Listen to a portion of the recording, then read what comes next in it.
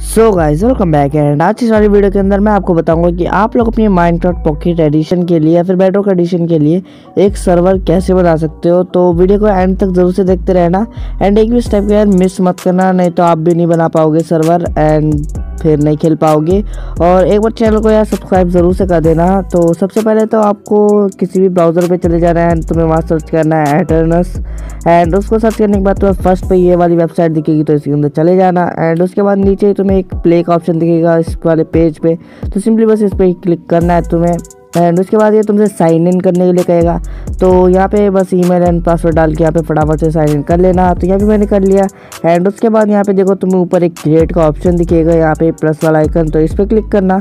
And इस पर click करने के बाद यहाँ पे तुम्हें एडिशन सेलेक्ट करना है, जो कि है बेडोक एडिशन एंड उसे सेलेक्ट करने के बाद नीचे तुम्हें देखने को मिल जाएगी तुम्हारी आईपी एंड ये से तुम चेंज भी कर सकते हो। एंड उसके बाद नीचे तुम्हें क्रिएट वाले बटन पर क्लिक कर देना एंड यहाँ पे तुम्हारा सर्वर बस हो चुका है क्रिएट अब यहाँ पे तुम कई सारी चीज़ें यहाँ से चेंज कर सकते हो, जैसे कि यहाँ पे तुम्हें आईपी एड्रेस पोर्ट यहाँ पे वर्जन एंड कौन सा एडिशन है, सारी चीज़ें देखने को मिल जाएगी। बट ये वाली जो यहाँ पे देखो ऊपर स्टार्ट का बटन है, इस पर क्लिक करने के बाद यहाँ से तुम अपने सर्वर को स्टार्ट भी कर सकते हो।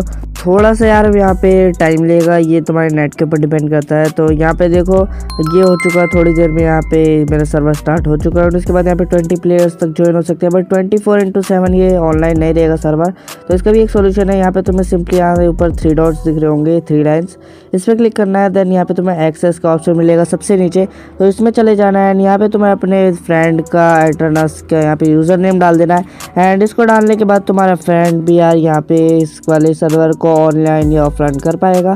तो अब बताता हूँ आपको इसे माइनक्राफ्ट में कैसे इसको डालना है। तो सबसे पहले यहाँ पे देखो मैंने वहाँ पे version one point nineteen select किया था। यहाँ पे आके मेरे को सिंपली सर्वर में जाना है देन यहाँ पे ऐड सर्वर का ऑप्शन मिलेगा, इस पर जाना है। एंड तो मैं यहाँ पे सर्वर नेम कुछ भी डाल सकते हैं आई पी एड्रेस एंड यहाँ पे पोर्ट तो मैं सारी चीज़ें वहीं देखने को मिल जाएगी उसी वेबसाइट पे। तो जैसे ही देखो मैंने अभी क्रिएट किया था, उसकी सारी चीज़ें ये है।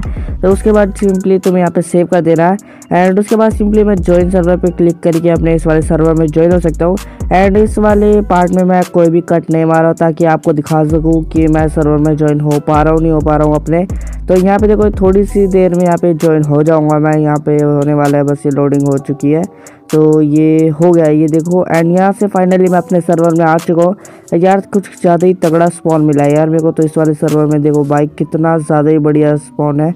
तो ऐसे ही तुम लोग अपने फ्रेंड के साथ भी खेल सकते हो अपने सर्वर में एंड कुछ और ज़्यादा एक्सेस देने हो तो वो भी दे सकते हो तुम अपने सारे फ्रेंड्स को। एंड अगर तुम्हें कोई भी चीज़ समझ नहीं आई तो जाके एक बार दोबारा से देख लेना उस वाले पार्ट को। एंड अगर वाली वीडियो पसंद आए तो जाके एक बार लाइक का बटन यार ज़रूर से टोक देना, बड़ी कंजूसी कर रहा आजकल। एंड चैनल पर नहीं हो तो सब्सक्राइब तो करना ही है फिर और मैं मिलता हूँ नेक्स्ट वीडियो में, तब तक के लिए बाय